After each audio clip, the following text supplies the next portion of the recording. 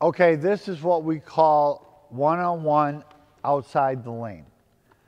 RJ just has to clear the ball past the lane. So if we get a rebound, one foot outside the lane, and we want to work on getting finishing. Here we go.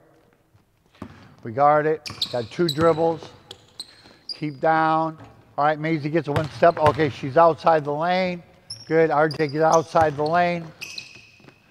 Good shot fake, gets it back. He's got two now. All right, there's four. Stay down.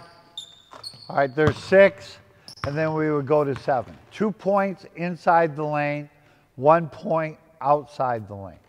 All right, Maisie get the ball. All right, same thing. Now I'd like to see some shot fakes, some uh, pivots, but finish at the basket, okay? Let's say Maisie shoots it from there because RJ sags. That's worth one point. That's one point because it's outside the lane area. Maisie takes the ball, okay? She just has to get one foot outside the lane. She's got two dribbles, and we go. Okay, she, that's two. Now she would have three.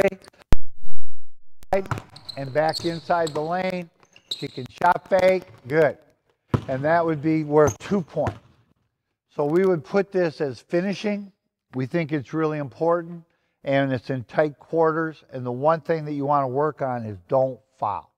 The referees protect the shooter, especially close to the basket. Don't foul a person taking a shot. Make it a tough shot. Bringing it way out and try to finish at the basket. We're just going to do it close in.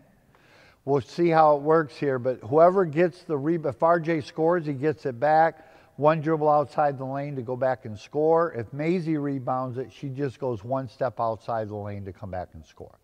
Okay? We want to see uh, finishing. We want to see shot fakes. We want to see pivoting.